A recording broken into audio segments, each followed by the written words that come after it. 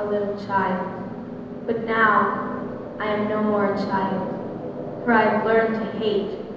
I have no fear. I'd like to go home again. Go home again. Go home. Home. I remember those golden days. But maybe I'll be going there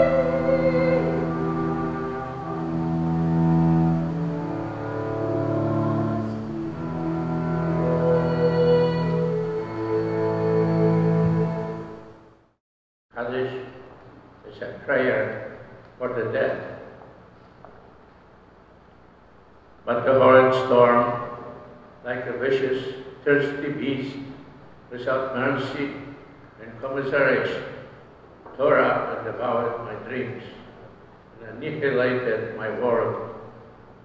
Today I want to say Kaddish for the lost ten tribes and for the devastated locations of my birthplace. Today I want to say Kaddish for my world which, which was inhumanely and beastly devoured and lies under heaps of ashes and mire. For the garden of my youth. Today I want to say Kaddish for the garden of my youth and the forest of my dreams, both of them utterly destroyed. The garden became a graveyard and the forest burned to ashes. All, have, all I have left is sweet memories of my youth lots of nightmares of the Holocaust. The idea of eternal return is a mysterious one. To think that everything recurs as we once experienced it, and that the recurrence itself recurs ad infinitum. What does this madness signify? This reconciliation with the past reveals the profound moral perversity of a world that rests essentially on the non-existence of return. For in this world, everything is pardoned in advance, and therefore, everything cynically permitted. But is it? Not like the brazen giant of Greek fame, with conquering limbs astride from land to land. Here at our sea-washed sunset gates shall stand a mighty woman with a torch, whose flame is the imprisoned lightning, and her name, Mother of Exiles. From her beacon hand glows worldwide welcome, her mild eyes command the air-bridged harbor that twin cities frame.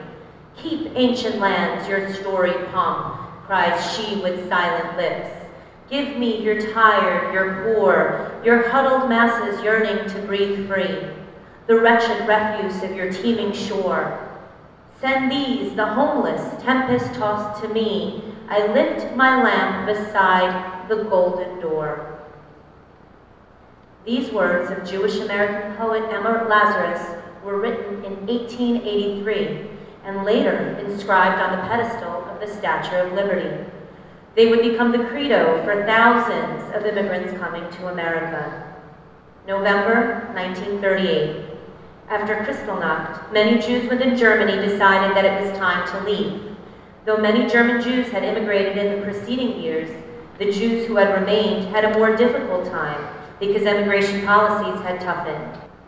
On May 13, 1939, more than 900 Jewish refugees fleeing Nazi Germany left Hamburg aboard the St. Louis, sailing toward what they thought would be a safe haven.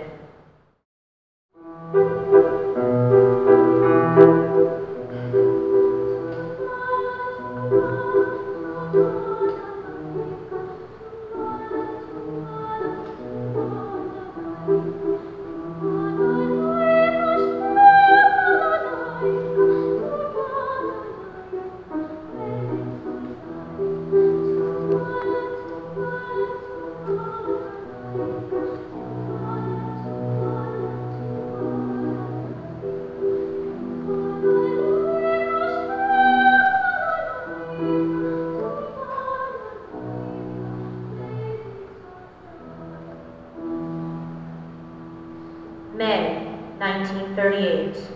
The St. Louis liner reached the port of Havana with more than 900 Jews aboard. The president of Cuba refused to honor the documents. After the ship left the Havana harbor, it sailed so close to the Florida coast that the passengers could see the lights of Miami. The captain appealed for help, but in vain. U.S. Coast Guard ships patrolled the waters to make sure that no one jumped to freedom and did not allow the ship to dock in the U.S. The St. Louis turned back to Europe.